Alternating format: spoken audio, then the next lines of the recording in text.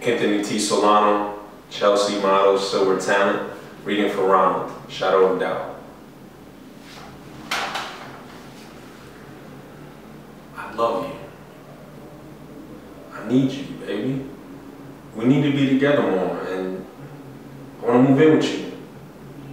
Well, Ron, I know you're tired of living with your mother, but that don't mean you can just move in here. I'm just out on my own for the first time and I'm not ready for a roommate. Roommate? I know damn roommate. But can I at least have a key? Really now, Ron? I'm not gonna give you a key so you can just be coming and going as you please without me even knowing about it.